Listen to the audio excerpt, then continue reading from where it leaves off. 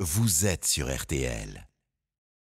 Bonjour Églantine. Bonjour Vincent, bonjour à tous. Eh bien, ça y est, le Père Noël est passé et je crois qu'aujourd'hui, vous voulez nous donner quelques conseils, derniers Ah, conseils, il faut. avant le 31 décembre pour des fêtes, disons, plus écolo. Et je crois qu'on va commencer par le papier cadeau. Ah bah il faut. Vous savez que pendant les fêtes, chaque enfant reçoit en moyenne entre 6 et 8 cadeaux, tous empaquetés dans de jolis papiers multicolores. Je ne sais pas si vous en avez eu autant. Ah bah hein. je sais pas, mais je sais que quand ils les ouvrent, c'est un enfer. C'est un enfer. Et quand on les additionne, ces papiers, à ceux des adultes, ça fait énormément de papier. Alors je me suis penchée sur le sujet et j'ai découvert que beaucoup de Français pensent encore que le papier cadeau ne se recycle pas.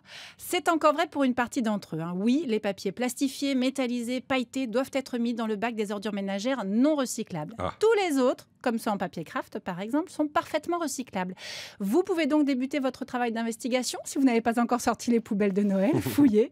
Et surtout, s'il vous plaît, faites mieux l'an prochain en achetant les bons papiers, uniquement ceux qui se recyclent ou qui sont déjà en papier recyclé. Voilà, donc ça, faut regarder évidemment sur l'étiquette quand on les achète. Exactement. Euh, dites Églantine, ma grand-mère, euh, les papiers cadeaux, elle les récupérait, elle Ah. les rangeait soigneusement, elle les pliait, elle les Je rangeait pour les récupérer l'année suivante. Eh bien, la mienne faisait exactement la même chose. Et ça a même longtemps été un sujet de gentille moquerie dans la famille. Mamie, toutes mes excuses, c'est toi qui avais raison. Une fois de plus. Les conserver, c'est encore la meilleure solution. Ou en faire des guirlandes. Il y a plein d'idées déco sur Internet avec le papier cadeau. Moi, je dis pourquoi pas. Alors, je voudrais maintenant parler des emballages carton Oh là qui là. contiennent les cadeaux. Là, on parlait de l'enfer lorsque les enfants ouvrent leurs paquets. Les on y est, là, on y est.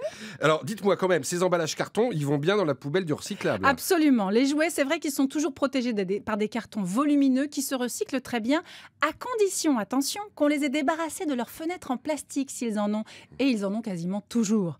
Même chose pour les boîtes de chocolat dont on va s'empiffrer là pendant les fêtes. Oh, oui. Pensez à enlever le plateau en plastique. Je sais que c'est plus simple de jeter directement le tout, mais c'est un tout petit geste que je vous demande de rien du tout. Ça fait beaucoup pour la planète. Vous séparez le plastique de la boîte en carton. D'accord. Bon, pour les chocolats, on va pas forcément s'empiffrer. On va en manger Moi, si. beaucoup. Voilà.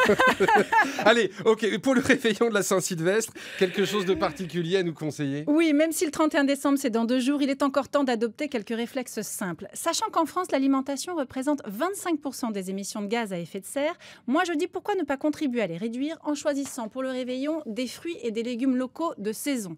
Ils ne sont pas cultivés sous serre, ils font beaucoup moins de kilomètres pour arriver jusqu'à votre table. Je vous rappelle qu'un fruit hors saison importé par avion consomme en moyenne pour son transport 10 à 20 fois plus d'énergie qu'un fruit produit localement. Pour le saumon, on Mhm. le prend de préférence d'élevage pour éviter de contribuer au pillage des océans. Pareil pour les crevettes. Et concernant le foie gras, alors là je sais que le sujet est sensible, mais sachez qu'il existe un foie gras 100% végétal, respectueux des animaux, je vois votre Attends, tête. C'est-à-dire que c'est un foie gras qui n'est pas un foie. Bah, c'est un peu ça. C'est un foie gras en tout cas qu'on peut trouver dans les magasins bio. Je vais être tout à fait honnête avec vous, je l'ai jamais goûté, mais promis, j'essaierai. Ah bah d'accord. Ah bah voilà, le pari est tenu. hein, et, et on, et on veut avoir cas, votre avis. Euh, alors pour conclure, pour ce, ce- ce réveillon écolo, Écoutez, on réduit le gaspillage alimentaire en préparant les justes quantités. Si malgré tout il y en a, on cuisine les restes. Moi, par exemple, j'adore le pain perdu le 1er janvier, autre grande tradition familiale. En plus, c'est mon père qui le cuisine. C'est facile, même lui, il sait le faire, c'est vous dire. Sur ce, joyeuse fête à tous et à toutes, et à l'année prochaine. voilà, et à votre papa aussi, bien évidemment. Merci beaucoup. Merci Vincent.